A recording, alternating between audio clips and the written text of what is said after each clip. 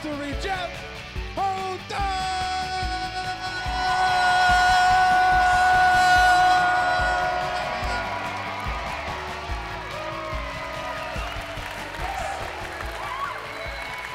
It's our Christmas episode!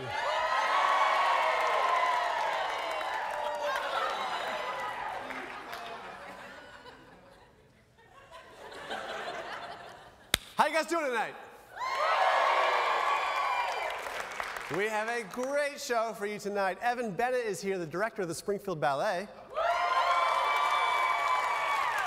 And we also have a performance by said ballet, the Springfield Ballet. Yeah.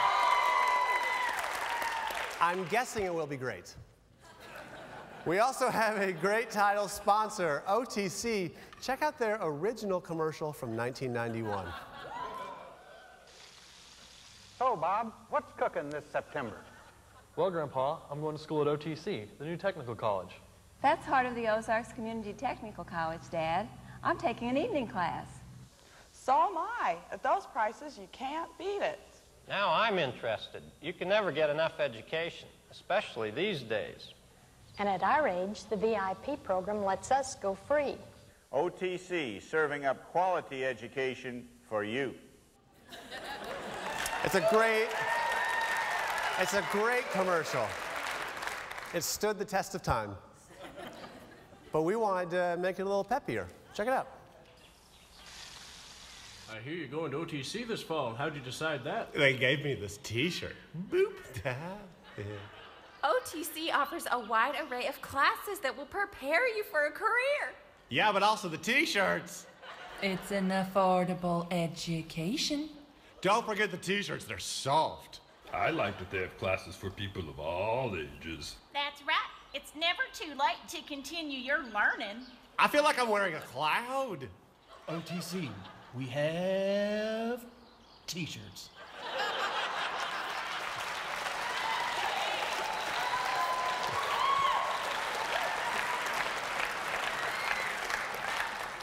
We have t-shirts. I've watched that so many times, the original, and it's always funny. Speaking of always funny, Dave Podium Smith. yeah. Hello, Jeff. How you doing? Um, I'm trying to think of a really cool thing to, to make podium into a word. I'm podium-tastic, Jeff. Thank you. If you can even see it, there it is. There it is. I really like it. I just I can't get enough of it. At times I feel like a failed politician, but other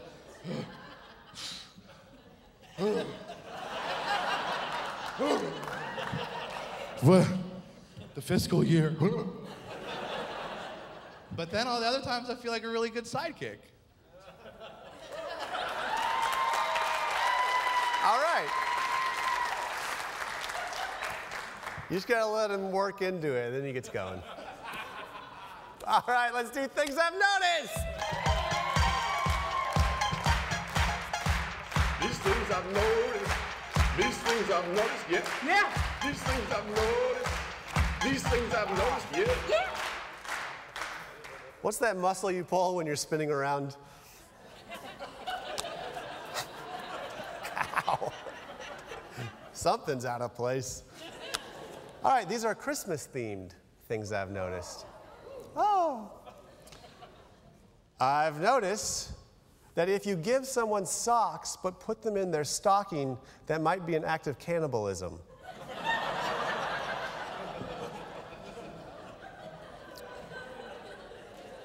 I've noticed that anyone that gets a gift of those five finger shoes deserves one more finger. It's harsh. That's harsh. Harsh. I've noticed that the holiday season seems to last months, but Christmas Day seems to last only two hours. we have a child writer. I've noticed that Cyber Monday was probably really boring in the 90s.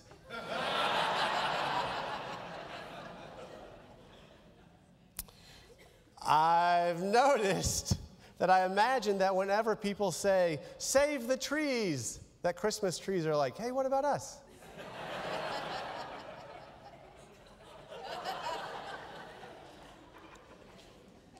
I've noticed that the most wonderful time of the year is not Toys R Us on Black Friday. Things I've noticed. These things I've noticed. These things I've noticed.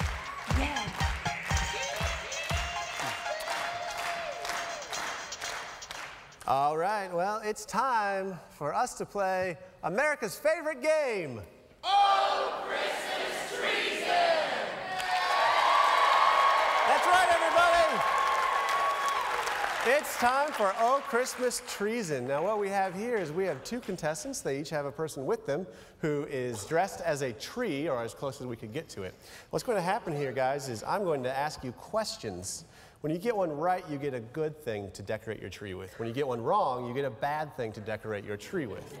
And then in the end, we will have a judge determine which tree is better. And of course, our judge, as always, is Westworld's Ptolemy Slocum. There he is. He's just over there drinking eggnog. So what we'll do is we'll ask you questions, and then at the very end, we will uh, have you guys decorate your trees as fast as you can. Uh, contestant number one, what's your name? I'm Garrett. And what is your tree's name? Uh, this is Corey the tree. Corey the tree, all right. And sir, what's your name? Zach. Zach, and what's your tree's name? Amy the tree. Amy the tree, all right. Very good, okay. Round one, you guys will be playing to decide if you're gonna put garland on your tree or toilet paper. If you think you know the answer, ding the bell. All right? Here we go. Question number one What do Christmas trees remove from the air? Pollen? Correct, it's dust and pollen. Very good. You get garland, sir. Thank you. You get toilet paper. Do not decorate yet. Resist the urge. Question number two. You guys ready? One of you is. Okay? All right. In which country did the Christmas tree originate? Germany. Germany is correct. Very good. I forgot to say what you were playing for ahead of time. But you guys both get candy canes. Now, here's the deal you get to put the candy canes on your tree using your hands. You put the candy canes on your tree using just your mouth. All right? Grab your candy canes. Very good. How you feeling about this, sir? You know, it's okay. That's what I usually say after Christmas as well. All right, this is the final question. And you'll be playing to decide whether or not you're going to put a star on your tree topper or if you're going to put a rotisserie chicken.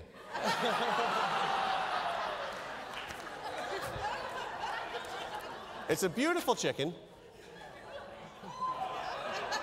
There it is. I enlarged both of the holes this morning myself so you can stick it upon the topper like a normal person. Star or chicken? Okay. All right. You need to win one. Yeah, I do. How you feeling? I'm feeling pretty good. How you feeling? Like I want the chicken. I like his answer. We're doing this wrong. Okay. Final question. Putting this center. All right. Final question. What sound does a reindeer make? The sound a regular deer makes. I want to hear the sound, sir. okay. And, uh, sir, what sound does a reindeer make? Clippity clop.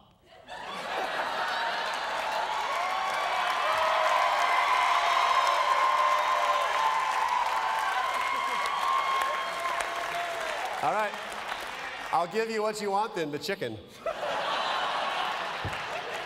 All right. You guys, grab your utensils. You have less than a minute to decorate your tree as best you can. On your mark, get set, go! Cheer them on, everybody. We have garland and toilet paper.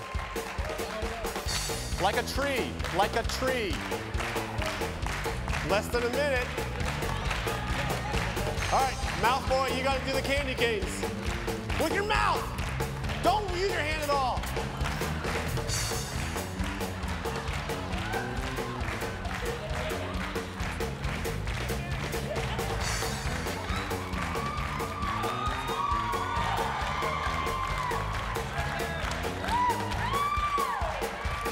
All right, and the topper.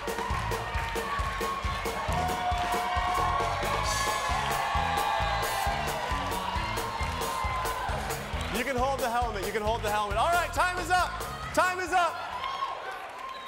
Put your hand down and we want to be able to see your face. Oh, there we go. Do not move. All right. All right. Westworld's Ptolemy Slocum. You've had a chance to see both. Who do you think should win? Jeff, I am the wrong person to ask. Who, who would not want a tree that also serves as lunch?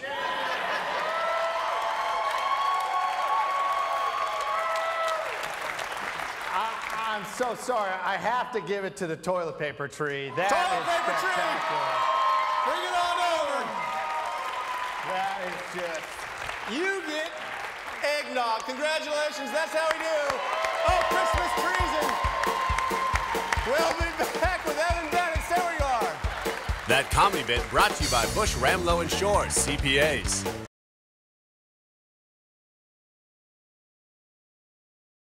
Guest booking provided by Big Salad. Welcome back. Welcome back. Welcome back. Welcome back. Hey, we have a great guest tonight. We also have a great guest sponsor. Pepsi. MissouriTrafficTickets.com. If you get a ticket, just click it.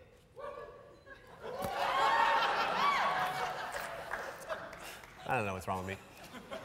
We have a great guest tonight, and he is the director of the Springfield Ballet, which is a great ballet. Please give it up for Evan Bennett. Evan.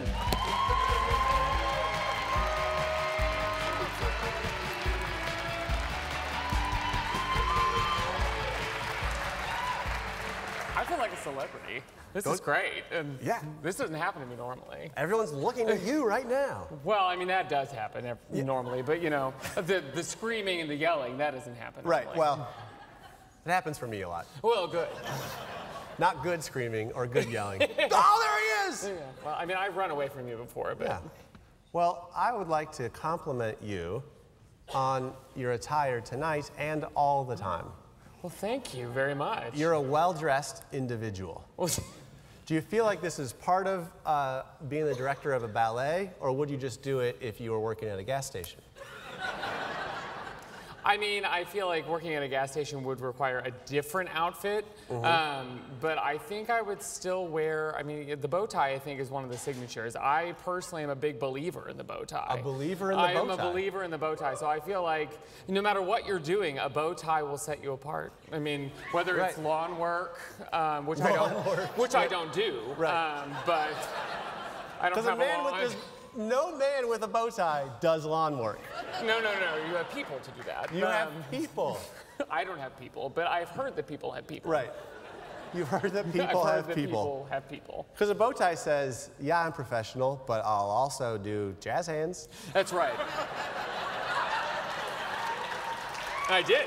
You see? And you did. did you know? On cue. Did you know? So tell me, so there aren't many places, I don't know if this is true. My, my thought is there aren't many places this size that have a great ballet. Is it, is it unique?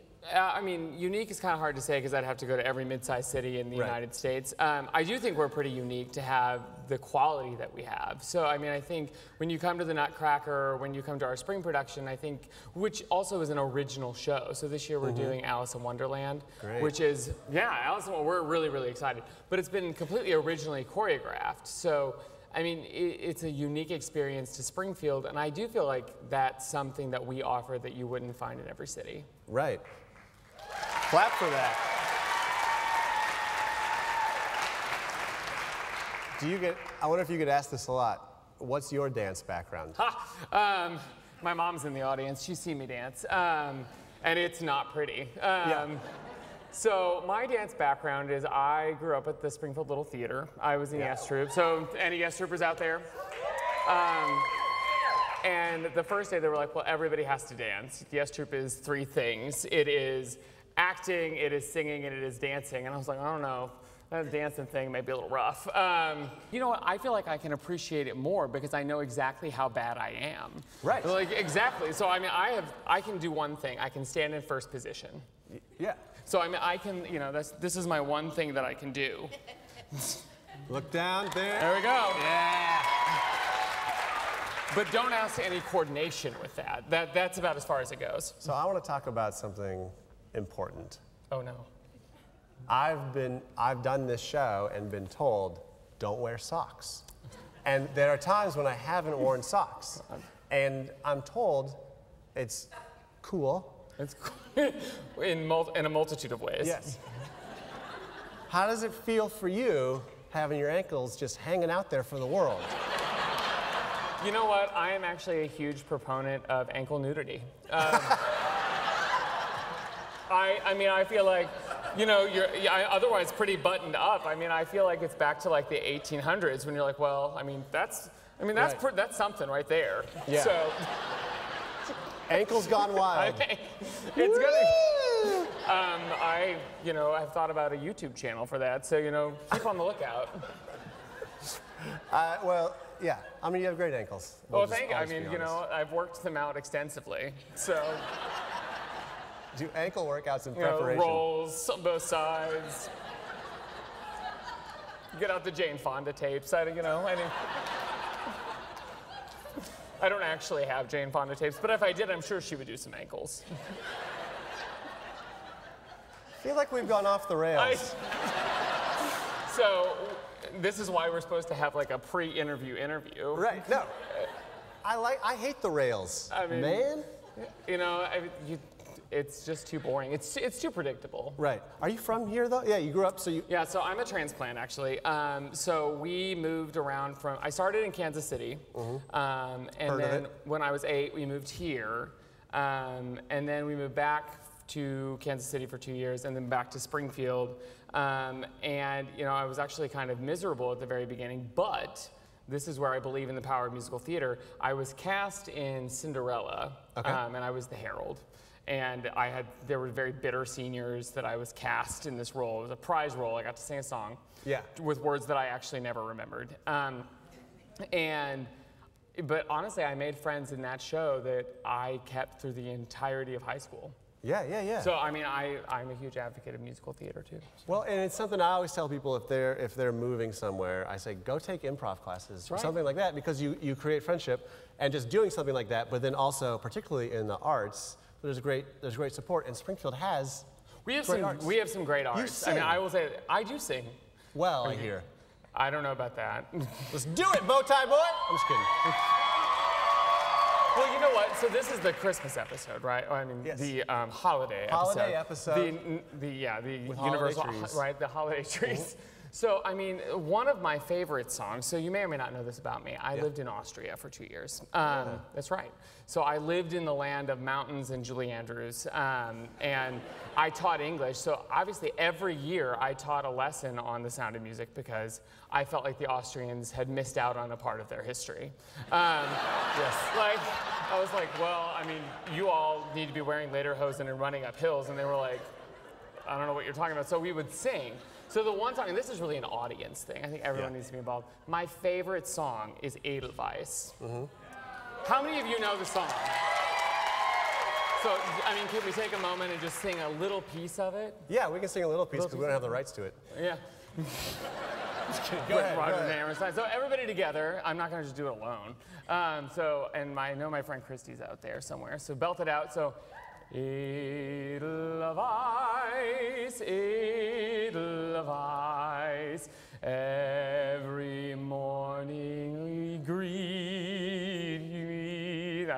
I got the words. Small and white, clean and bright. You look happy to me.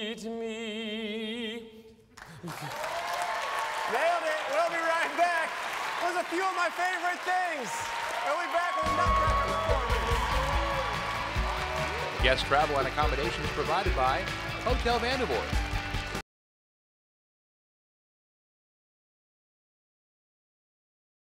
Musical guests brought to you by Brian Properties. Welcome back, everybody.